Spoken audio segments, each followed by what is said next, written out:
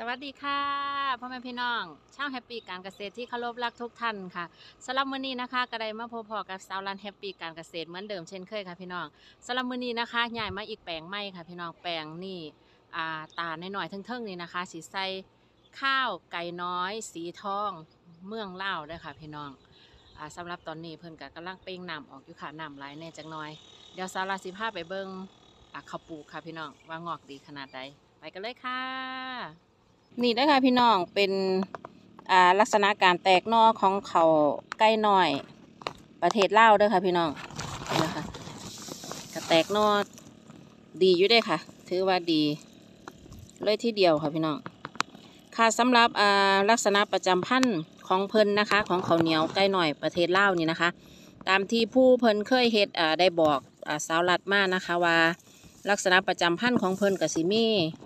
ส่งก่อตั้งค่ะพี่น้องลำต้นแข็งแรงค่ะ แตกก่อได้ดีค่ะ ส่วนมากเพิ่นบ่คอยมักน้ำปานใดค่ะ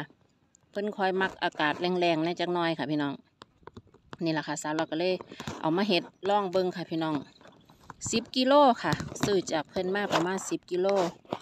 ลงมาเอามาเฮ็ดเบิ่งจากประมาณจักบ่พองานดอกค่ะ พี่น้องนี่ค่ะ ตอนนี้ก็กำลังเตรียมแปลงกำลังสีวานเลยค่ะสาวเราก็เลยพาแม่พี่น้องมาเบิ่ง นอมันค่ะนี่นะคะพี่น้องอสำหรับอายุการเก็บเกี่ยวกับสิประมาณหนึ่งร้อยยี่สิบวันค่ะพี่น้องอันนี้เป็นข้าวไก่น้อยสีทองค่ะเนี่ยค่ะพี่น้องเขาทาอยู่ได้ค่ะใส่ได้ดีเลยทีเดียวค่ะพี่น้องวานแล้วเด้อค่ะ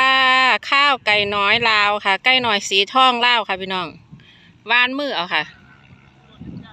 ให้นี่บ่หลายก็เลยวานมือเอาค่ะ ซิดซิดซิดลงไปค่ะ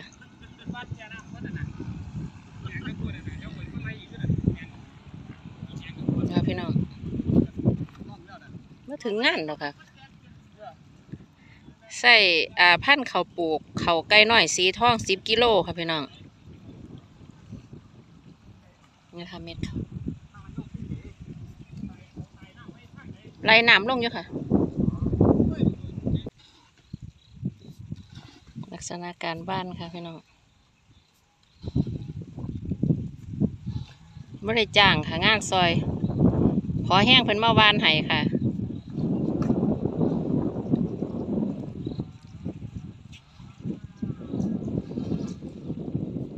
แป๊บเดียวค่ะพี่น้องเสร็จแล้วค่ะนี่สำหรับมื้อนี้นะคะ การบ้านเขาใกล้หน่อยเล่าของเฮาเด้อค่ะพี่น้องก็ได้เสร็จสิ้นเป็นที่เรียบร้อยแล้วค่ะพี่น้อง อาบนเนื้อที่แปลงข้างล่างของสาวรัดนี่แหละค่ะอา